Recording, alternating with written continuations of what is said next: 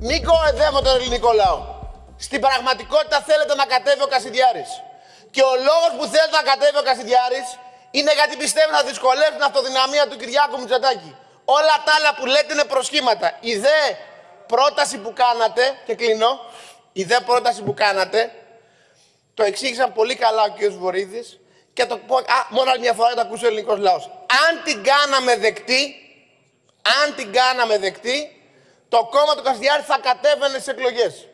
Ο μόνος τρόπος για να μην κατέβει ο Κασιδιάρης στις εκλογές είναι η τροπολογία που έχουμε φέρει. Αυτό που φέρατε θα το ψηφίζαμε, θα πήγε στον Άριο Πάγο και το αρχίσα κανονικά υποψήφιο. Θα λέγατε στους δικούς σας τι να κάνω, ψηφίσαμε άλλο Άριος Πάγος και θα ήταν ο Κασιδιάρης εκλογές κάτω.